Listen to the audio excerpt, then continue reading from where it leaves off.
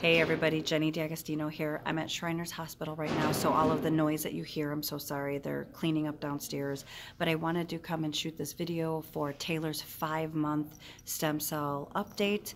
We are five months out now, and you know, I know the past couple months I really haven't had much to share at all, but I wanted to share with you that Taylor has started a new therapy program with a place called Next Steps in Willow Springs, Illinois.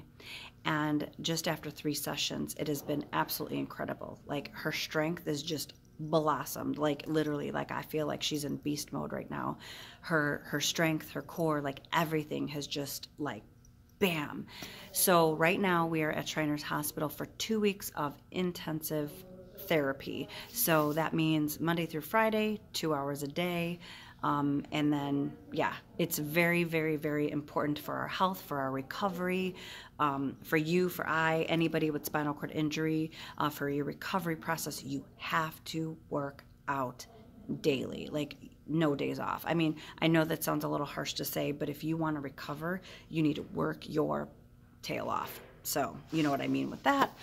Um, she is just um, if you go on to my page and look at all the progress that she's made all the strength everything that she's doing you could see how she was before and you could see how she is now. So i truly believe her strength is like just bam. And i don't know if it's because we're five months out and usually this is a good time that the cells are, are working and growing and like that or you know along with the physical therapy that she's getting. So I think it's a combination of both.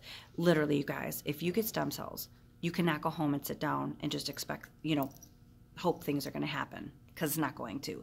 You have to put the work in. That's how things are going to happen. So they said that, you know, we have a six to nine month window. We're at month five. And again, I'm seeing so much improvement in just these past couple weeks.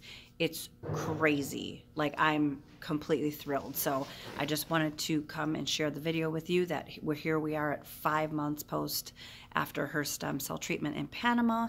And if you guys ever have any questions, just please comment below, reach out to us, and we will answer anything. Do I think it's worth it? Yes, I do. Would we go back? Yes, we probably are. And you know, I'm, I'm sure you have a ton of questions and that could be another video. Just send me a message and I will talk about it. But I don't mind sharing our journey at all because I do believe it's worth it and I do believe it helps with spinal cord injury recovery. So thank you all so much and make sure that you subscribe to my page so that you get all the video updates what Taylor's going through. Also, um, I'm updating on Instagram under Taylor Strong 16 and also our YouTube page. So have an amazing night, and thank you all so much for supporting Taylor's journey. And yes, I'm Taylor's mom. Have a good night.